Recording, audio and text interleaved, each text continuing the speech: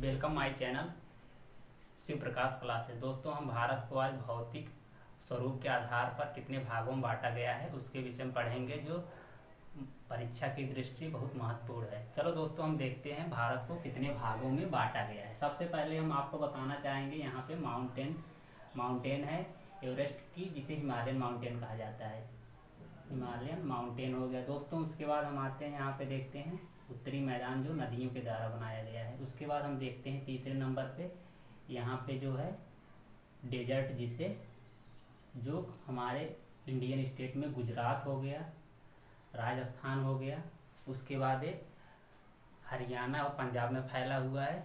इसमें से जो हमारे यहाँ थार मरुस्थल है सबसे ज़्यादा वो राजस्थान में फैला हुआ, लगभग उसका अस्सी परसेंट हमारे राजस्थान स्टेट में फैला हुआ। चलो हम उसके बाद देखते हैं जो कोस्टल रीजन जिसे तटीय मैदान कहा जाता है तटीय मैदान में सबसे पहले यहाँ पे वेस्ट बंगाल आता है उसके बाद यहाँ पे उड़ीसा आता है उसके बाद यहाँ पे आंध्र प्रदेश आता है दोस्तों उसके बाद यहाँ पे तमिलनाडु आता है उसके बाद यहाँ पे हमारा केरला स्टेट आता है उसके बाद यहाँ पे कर्नाटका आता है यहाँ पे गोवा आता है यहाँ पे दोस्तों गोवा आता है उसके बाद यहाँ पे महाराष्ट्र महाराष्ट्र आता है उसके बाद यहाँ पे गुजरात स्टेट आता है। दोस्तों, उसके बाद हम देखते हैं हमारे यहाँ जितने आइसलैंड, कितने आइसलैंड है। आइसलैंड एक एक हो गया, अंडमान एंड निकोबार हो गया। उसके बाद यहाँ पे लक्षद्वीप आइसलैंड है। उसके बाद हम देखते हैं दोस्तों हमारे यहाँ जो डेक्कन प्लेटू है, जिसे मरुस्थ प्रायद्वीपी पठार कहा जाता है।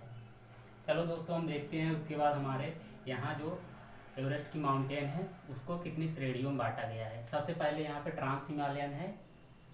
यहाँ पे ट्रांस हिमालयन दोस्तों, उसके बाद आता है हिमाद्री जिसे ग्रेट हिमालयन कहा जाता है दोस्तों। उसके बाद यहाँ तीसरे नंबर पे जो आता है, शिवालिक हिमालयन जिसे लोअर हिमालयन कहा जाता है। चलो हम देखते हैं ट्रांस हिमालयन में कौन कौन सी श्रेणियाँ आती हैं। सबसे पहले यहाँ पे काराकोरम श्रेणी आती है, उसके बाद यहाँ पे लद्दाख श्रेणियाँ आती हैं, उसके बाद यहाँ पे जास्कर श्रेणियाँ आती हैं। चलो हम देखते हैं उसके बाद, जो ग्रेट हिमालयन में कौन कौन सी श्रेणियाँ आती हैं। दोस्तों, ग्रेट हिमालयन श्रेणी में सबसे पहले हम देखते हैं, जो यहाँ पे आता है, नंगा पर्वत हमारे यहाँ, जम्मू कश्मीर स्टेट में नंगा पर्वत है। उसके बाद जो सबसे महत्वपूर्ण चोटी है, जिसकी लंबाई आठ हज़ार आठ सौ पचास मीटर है, ये माउंट एवरेस्ट, जो पूरी तरह से नेपाल देश में फैली हुई है। उसके बाद दोस्तों हम देखते हैं हमारे यहाँ जो कंचनजंगा माउंटेन है, ये सिक्किम स्टेट में यहाँ पर फैली हुई है। दोस्तों, चलो हम देखते हैं उसके बाद जो हमारे यहाँ नदियों के द्वारा मैदान बनाया गया है। मुख्य रूप से जो नदियों के द्वारा मैदान बना, उत्तरी मैदान है, वो सिंधु नदी से, गंगा नदी से और ब्रह्मपुत्र नदी से बनाया गया। लगभग जो हमारे यहाँ का क्षेत्रफल है, उत्तरी मैदान का, लगभग एक बटे चार हिस्सा में इनकी बेसिन फैली हुई है। दोस्तों, चलो हम देखते हैं उसके बाद। आइसलैंड आइसलैंड यहाँ पे एक है अंडमान एंड निकोबार हो गया दोस्तों। यहाँ पे लक्षद्वीप, आइसलैंड हो गया। चलो उसके बाद हम देखते हैं डेक्कन प्लेटू। यहाँ से यहाँ तक किस किस स्टेट में फैला हुआ है? डेक्कन प्लेटू यहाँ पे एमपी में फैला हुआ है, यहाँ पे गुजरात इस साइड में फैला हुआ है, उसके बाद यहाँ पे छत्तीसगढ़ में फैला हुआ है, उसके बाद यहाँ पे आंध्र आंध्र प्रदेश में, आंध्र प्रदेश में दोस्तों फैला हुआ है, तमिलनाडु हो गया, उसके बाद केरल में फैला हुआ है कर्नाटका में फैला हुआ है, गोवा में फैला हुआ है, महाराष्ट्र में फैला हुआ है। दोस्तों, चलो हम देखते हैं उसके बाद जो हमारे मध्य भारत की कौन सी सबसे ऊँची चोटी यहाँ पे दोस्तों, महादेव हिल्स जो है, गुजरात से लेकर छत्तीसगढ़ स्टेट तक फैली हुई है। इसकी सबसे ऊँची चोटी है धूपगढ़ी, जो एमपी में है। मध्य प्रदेश में है। दोस्तों, चलो हम उसके बाद देखते हैं, पश्चिमी घाट की सबसे ऊँची चोटी कौन सी है? पश्चिमी घाट सबसे पहले आप लोगों को बताना चाहूँगा, पश्चिमी घाट जो है, गुजरात से लेकर तमिलनाडु तक फैली हुई है।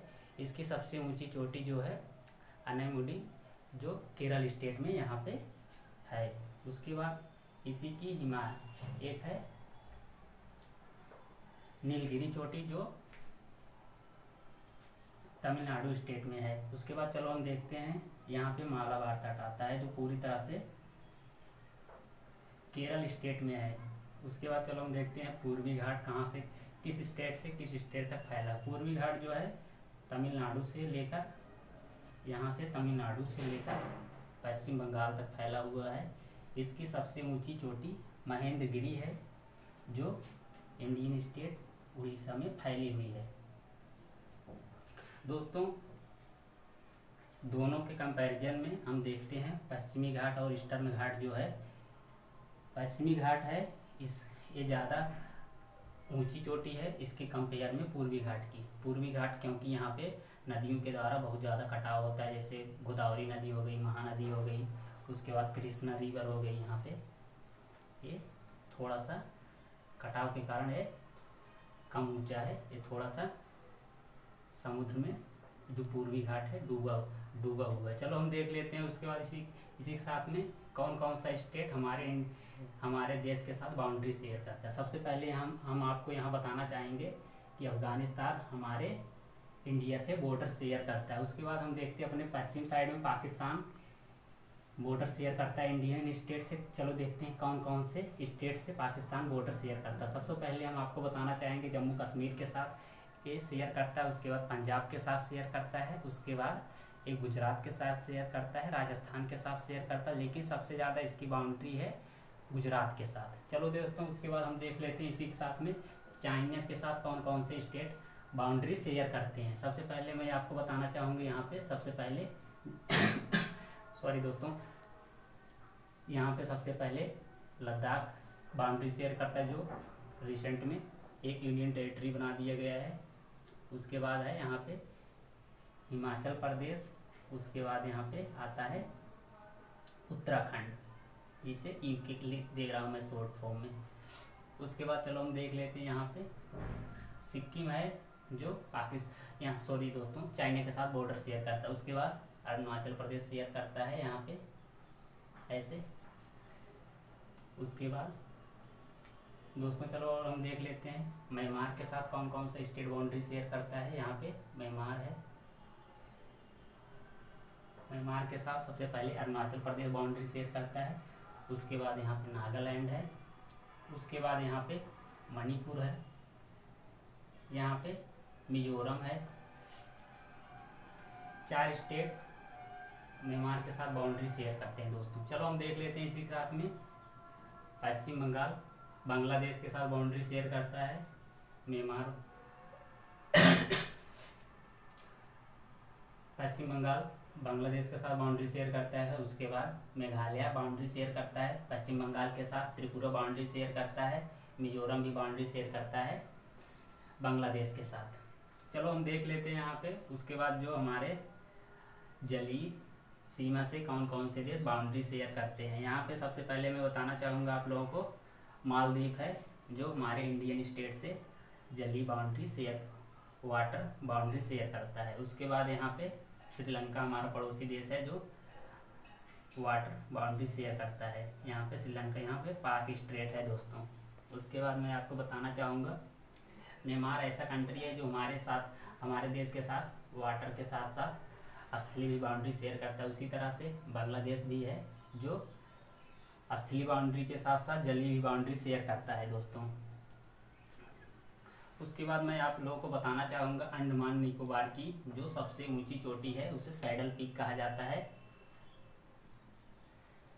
दोस्तों, उसके बाद हम देखते हैं यहाँ पे, और कौन कौन सी चोटी किस किस स्टेट में है। यहाँ पे सबसे पहले हम देखते हैं महाराष्ट्र में सबसे ऊँची चोटी कौन सी है? काल सुबह इसे कहा जाता है। महाराष्ट्र में जो सबसे ऊँची चोटी है, महाराष्ट्र स्टेट की। उसके बाद इसे सहाद्री कहा जाता है। सहाद्री महाराष्ट्र से महाराष्ट्र से लेकर कर्नाटक तक फैली हुई है। उसके बाद मैं आप लोगों को बताना चाहूँगा, जो मुंबई से गोवा तक है, उसे कोंकण तट कहा जाता है। उसके बाद जो आता है, उसे केंद्रा तट तक कहा जाता है।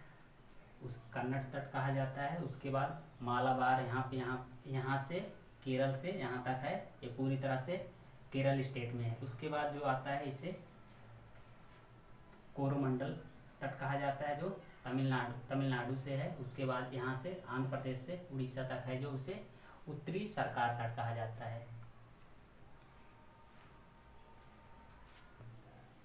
दोस्तों, चलो हम देख लेते हैं पांडचेरी यूनियन टेरिटरी किस किस स्टेट में फैला हुआ है।